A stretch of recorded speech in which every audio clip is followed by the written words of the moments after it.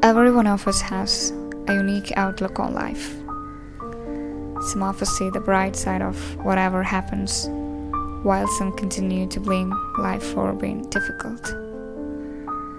In reality, the outside world is just a reflection of our inner selves. Your perspective of the world is shaped by your emotions. We experience life through the lens of who we are rather than what it is.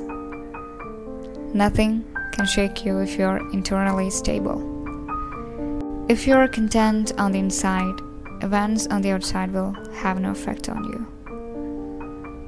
However, if your happiness is solely dependent on your surroundings and other people, you'll find it difficult to maintain a constant happiness. Remember, you have the ability to overcome any obstacle. Without your strength, your circumstances are helpless. When confronted with a problem, imagine yourself to be more powerful than the problem. Life's challenges exist to make us stronger. You'll be able to deal with any obstacle once you have mastered this art of life. When you face adversity, you transform into a different person. Learn to take what you can from adversity and move on.